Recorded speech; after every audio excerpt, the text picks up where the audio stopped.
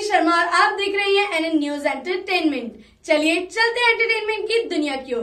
क्या आपको पता है अभिनव शुक्ला को घर से बेघर कर दिया गया है? जी हाँ। आइए आपको दिखाते हैं आखिर क्यों कर दिया गया है अभिनव शुक्ला को बिग बॉस के घर से बेघर।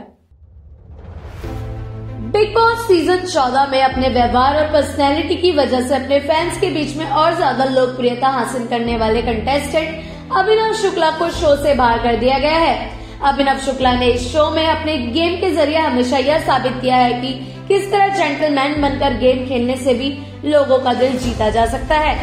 आपको बता दें कि जब वह शो में आए थे, तब सलमान खान ने उनके साथ दुर्व्यवहार किया और उन्हें शो में रूबीना का पति और कभी दोनों को एक दूसरे का पति पत्नी कहकर भी कई बार पुकारा है।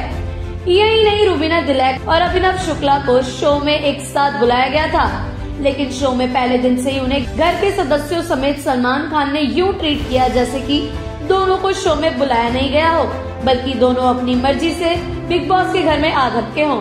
इस हफ़्ते बिग बॉस सीज़न 14 में कंटेस्टेंट की फैमिली भी आ रही है। अली गोनी के लिए जैस्मिन भसीन आई है। अभिनव शुक्ला के लिए राहुल महाजन। ध्रुवीना दिलैक के लिए उनकी बहन ज्योति दिलैक। राहुल महाजन के लिए तोशी साबरी।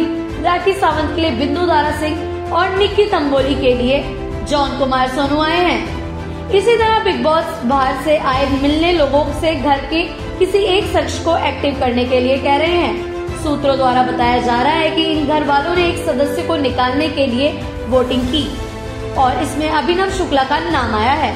इसके बाद अभिनव शुक्ला के फैंस को बहुत ज़बरदस्त गुस्सा आ गया और फैंस कह रहे हैं कि अभिनव शुक्ला को शो से पब्लिक वोटिंग के ज़रिए निकालना बहुत मुश्किल हो गया था। इसीलिए इन लोगों ने यह चाल चली है। अभिनव शुक्ला ने हमेशा इस शो में दिखाया है कि धैर्य और बिना किसी गाली गलौज के बगैर भी बिग बॉस में अपनी पहचान बनाई जा सकती है। हर बात पर लड़ने की ज़रूरत नहीं होती है। रोज़ाना एंटरटेनमेंट की अपडेट्स जानने के लिए देखते रहिए सिर्फ़ और सिर्फ़ एन न्यूज़ एंटरटेनमेंट